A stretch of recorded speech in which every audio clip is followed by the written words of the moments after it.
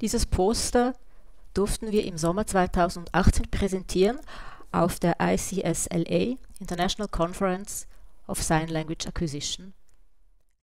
Wir vom HFH-SNF Projekt Team SMILE, es geht da um automatische Gebärdensprachanerkennung, durften die Inhalte unseres Projektes vorstellen. Es ging uns dabei vor allem um eine linguistische Perspektive auf ein System der automatischen Gebärdensprachanerkennung, welches ja vorher mit Daten gefüttert werden muss. Bei diesen Daten geht es jeweils um die Beurteilung, ob richtig, mehr oder weniger richtig oder falsch, also um linguistische Prozesse der Beurteilung, warum etwas als falsch oder richtig taxiert wird. Die Faktoren, die dabei eine Rolle spielen, wurden auf diesem Kongress präsentiert.